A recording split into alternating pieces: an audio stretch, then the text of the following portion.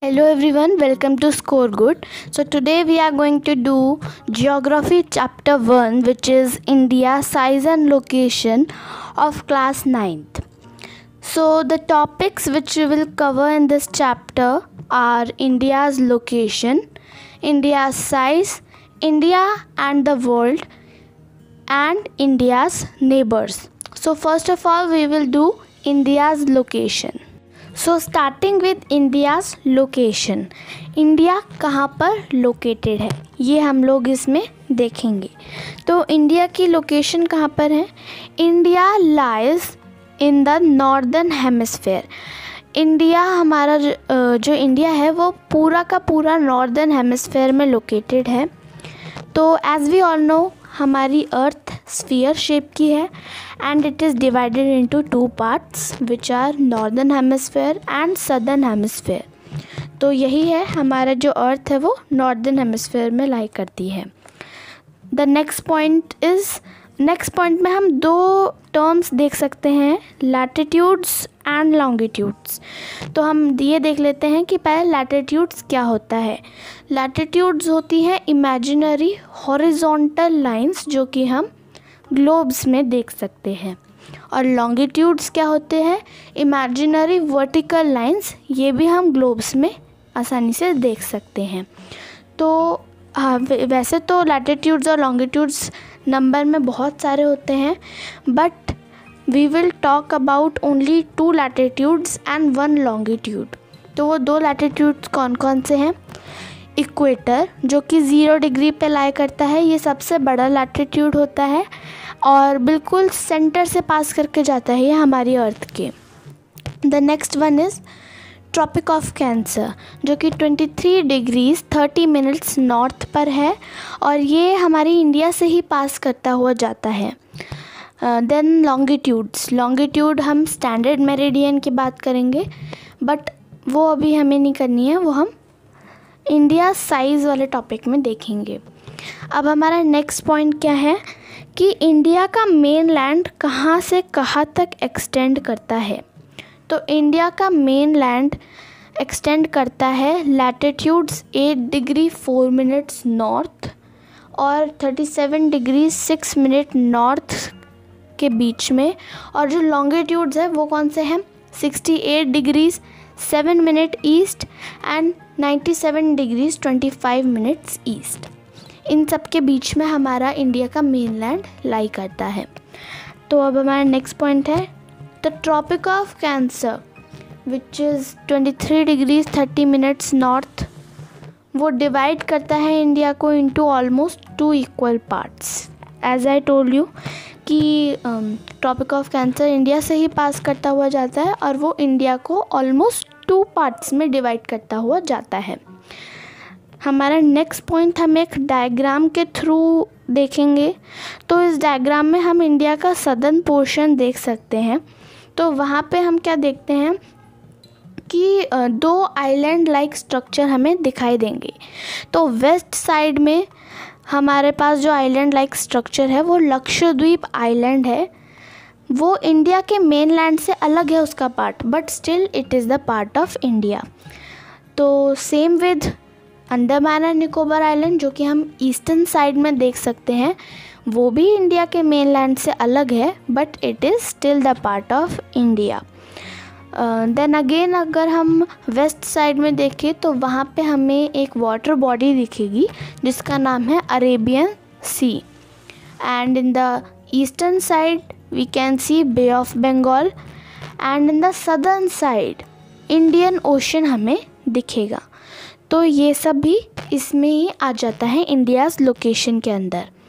अब हमारे पास एक और पॉइंट आता है, इंदिरा पॉइंट तो इंदिरा पॉइंट क्या है?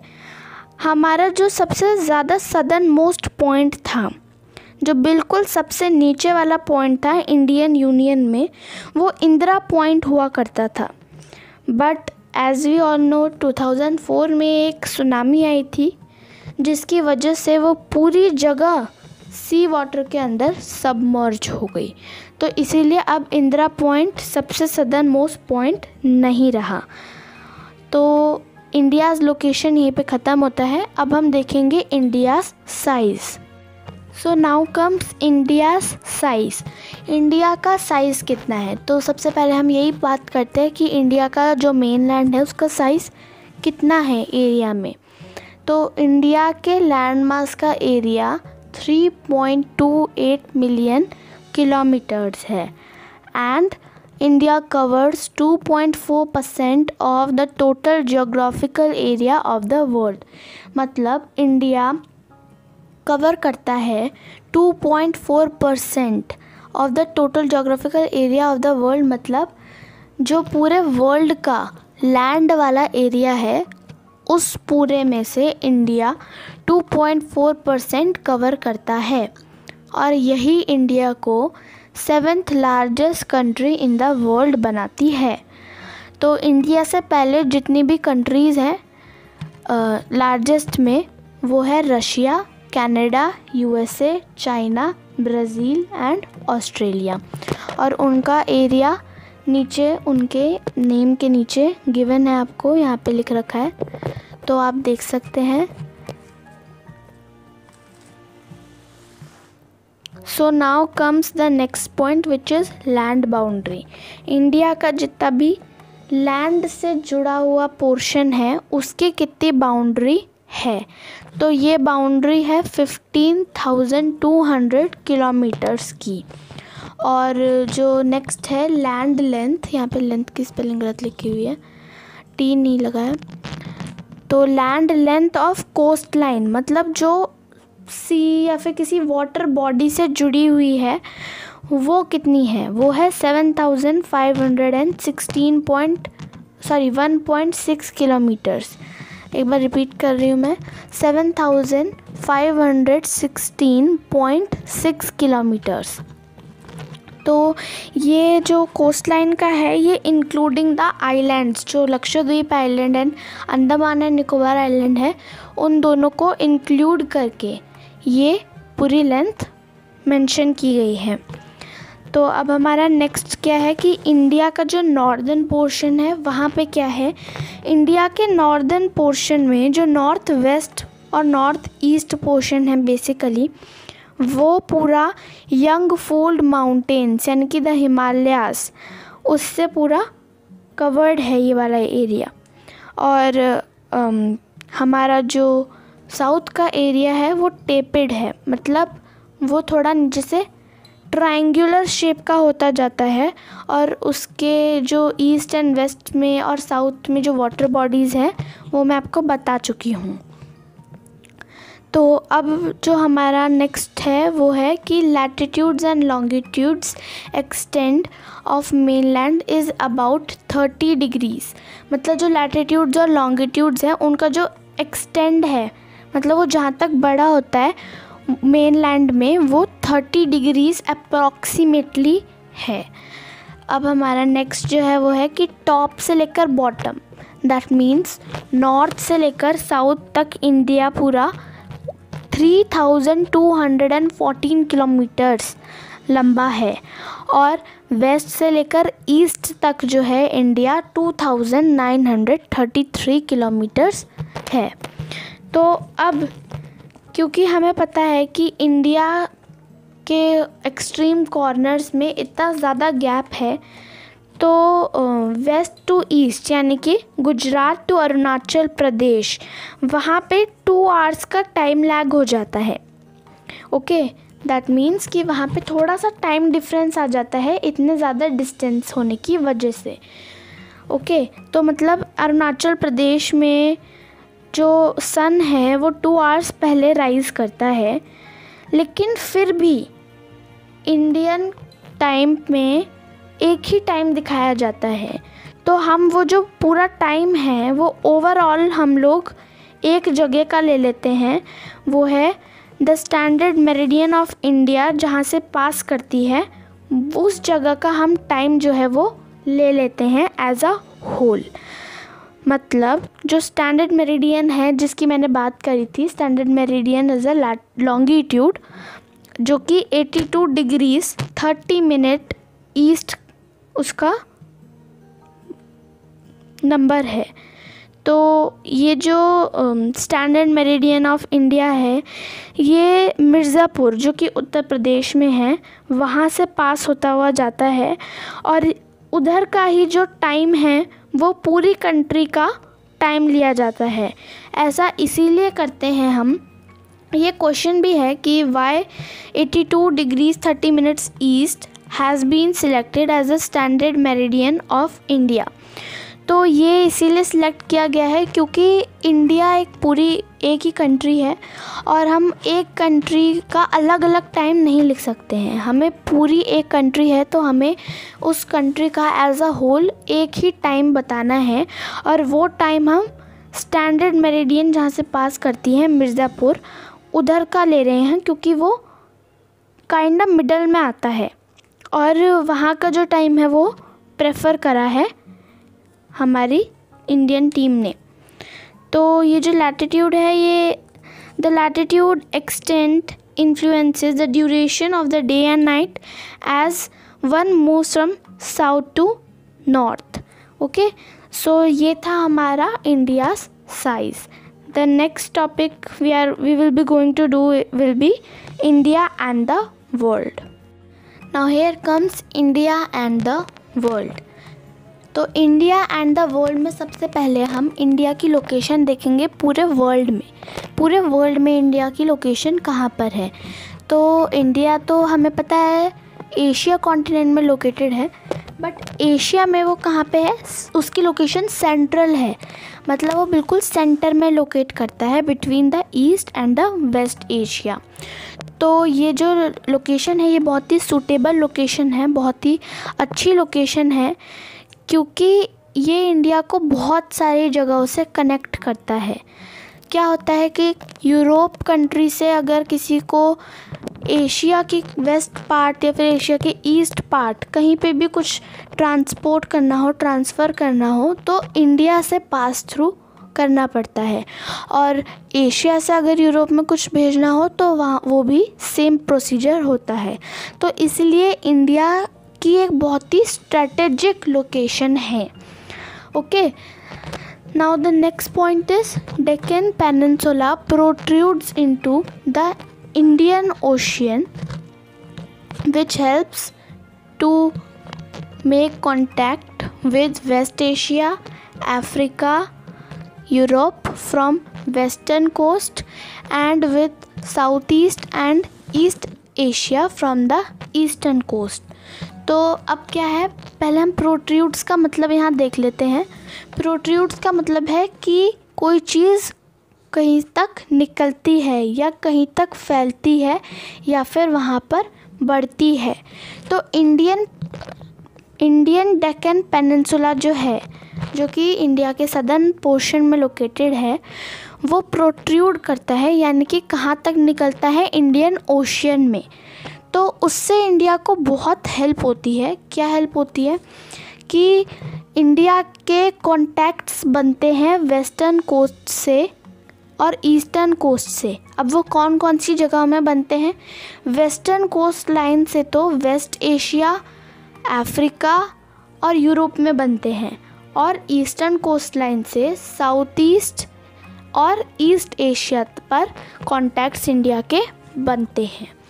तो ये वाली जो पॉइंट था, इससे हमें ये पता चला कि डेक्कन पेनिनसुला जो कि इंडिया में है, वो जब प्रोट्रूड करते हैं इंडियन ओशन में तो इंडिया को उससे बहुत हेल्प मिलती है क्योंकि वो अलग अलग जगहों तक और अलग अलग जगहों पर अपना कॉन्टैक्ट्स बना सकता है।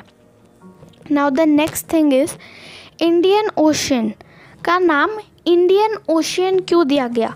वो इंडिया का ओशन तो है नहीं इंडिया तो उसे ओन नहीं करता बट स्टिल इंडियन ओशियन उसका नेम क्यों है?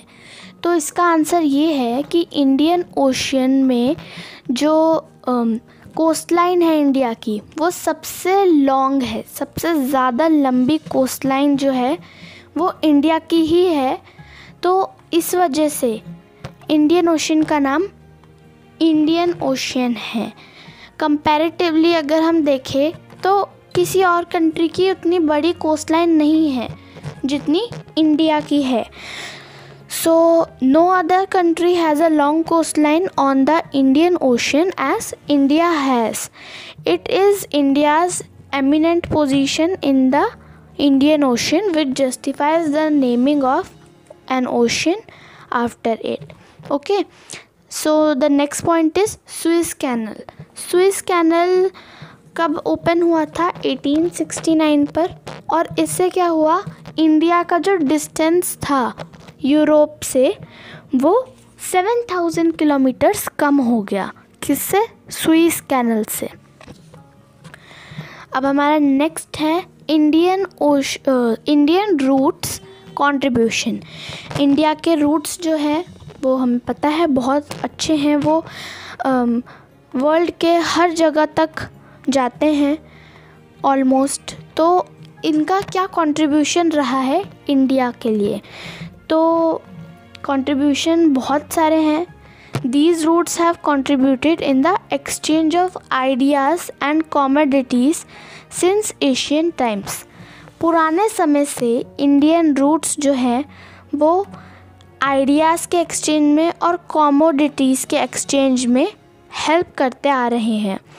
जैसे कि हमारे रामायण और उपनिषद के आइडियाज़, पंचतंत्र की स्टोरीज़, इंडियन न्यूमेरल्स और डेसिमल सिस्टम, ये इंडियन रूट्स की वजह से ही वर्ल्ड के अलग अलग पार्ट तक पहुँच पाया है।